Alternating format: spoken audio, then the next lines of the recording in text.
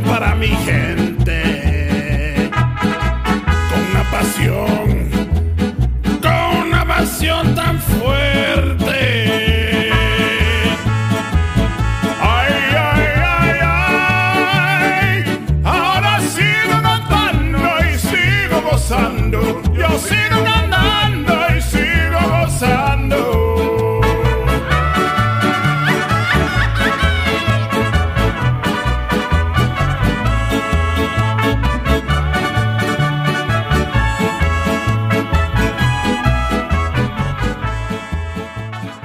Hola, ¿qué tal? Mi nombre es Ingrid Salazar, tengo 20 años de edad y les quiero contar sobre mi experiencia en mi primer body paint.